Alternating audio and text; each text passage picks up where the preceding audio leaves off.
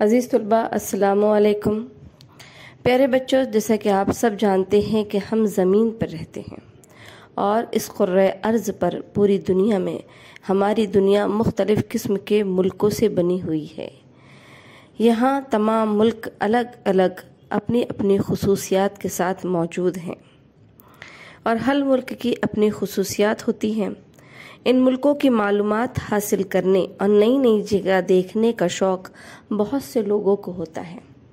और इन लोगों को क्या कहते हैं? इन लोगों को सयाह कहते हैं कि कुछ नया देखने के शौक़ में जो लोग सियाहत करते हैं, बहुत सी नई मालूम और कारामद तजुर्बात हासिल करते हैं।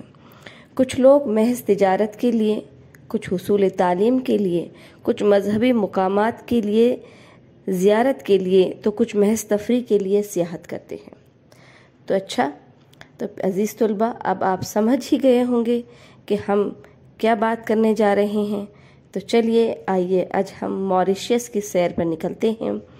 दीजिए हाजिर है सबक नंबर चार, मॉरिशियस की सैर, जिसकी मुसन्फ़ा हैं सगरा मेहंदी साहिबा। चलिए, अब हम मुसन्फ़ा का तारुफ हासिल करते हैं। सुगरा मेहदी का असल नाम सैदा इमामत फ़ातिमा था।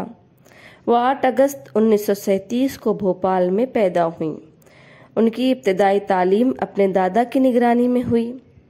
डॉक्टर आबिद हुसैन इनके मामू और सालहा आबिद हुसैन इनकी मुमानी थी। उन्होंने आला तालीम जामिया मिलिया इस्लामिया से हाथ दिल्ली से हासिल की और वहीं प्रोफेसर हो गई। उन्हें बचपन ही से अदब का शौक़ था। उनका पहला नावल पाबजौला 1971 में शाये हुआ। 17 मार्च 2014 को दिल्ली में उनका इंतकाल हुआ। ये तमहीदी वीडियो सबक नंबर चार मॉरिशियस की सैर, पेज नंबर पंद्रह पर मौजूद है। अल्लाह हाफिज़।